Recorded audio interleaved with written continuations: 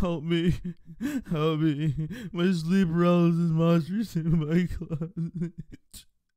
Want an ERP? I don't want to buy a boner dude.